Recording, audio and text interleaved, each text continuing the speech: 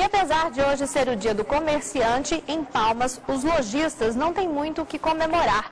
É a preocupação está sendo, por enquanto, a palavra de ordem. Isso porque a crise econômica está batendo aí na porta de muita gente. A data comemorativa chegou, mas quem trabalha no comércio não está encontrando muito motivo para comemorar, não. Nessa loja, por exemplo, o dono montou uma espécie de bazar na calçada para ver se atrai clientes. É que as vendas caíram 30% no último mês. E o movimento está devagar, quase parando. Já são três meses fechando no vermelho. Não temos motivo para comemorar. É da baixa somente, não tem como como comemorar.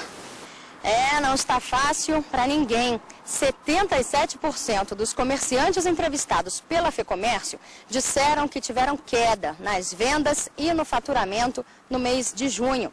E esse resultado provoca uma série de consequências, porque se o comércio está devagar e morno, outros setores da economia desaceleram também.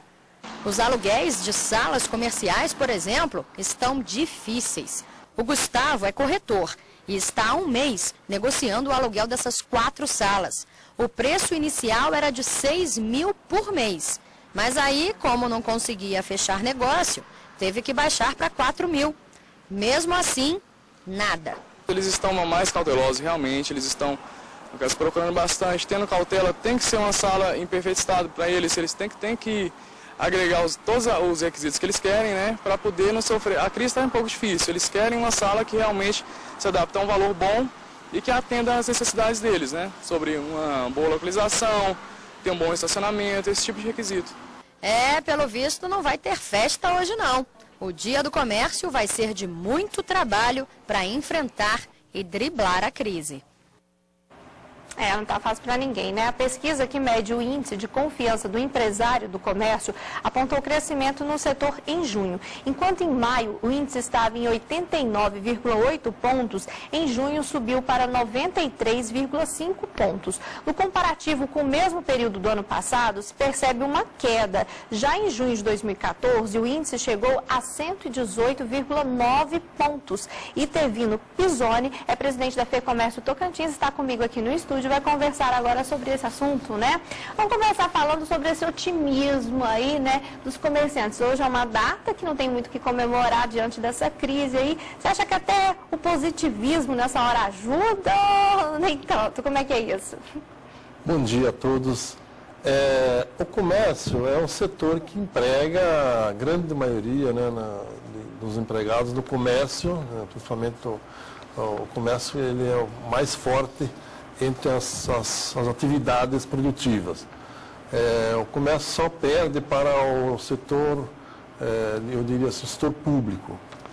É, o maior PIB do Tocantins é o do comércio, mais de 50% é do comércio.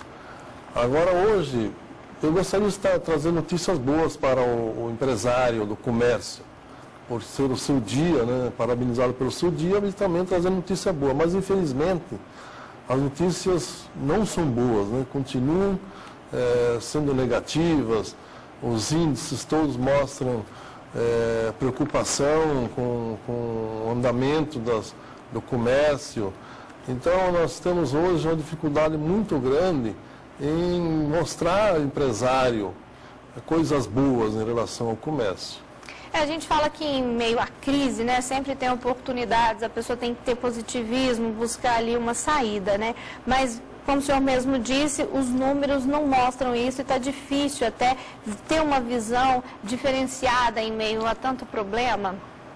É, nós temos hoje uma previsão da CNC que o varejo ampliado, quando se fala varejo ampliado, inclui-se veículos, motos, materiais de construção de acabamento, ele vai ter uma queda em 2015 de 6,5%. Já o índice restrito, ele terá um índice menor, mas mesmo assim negativo, mais de é, um, um e meio negativo. Então isso aí tudo, a gente limita isso a altas taxas de juros, a dificuldade no crédito, é, a prova também está que o endividamento está caindo um pouco, E isso mostra que há uma dificuldade na obtenção do crédito né, e há altas taxas de juros praticadas no mercado. Então o que a gente fala assim, ó, procure não gastar muito, procure se resguardar, não fazer muitos compromissos, é, não pagar juros, porque os juros é, são altos, principalmente em cartão de crédito e limites de cheque bancário, os juros estão muito altos.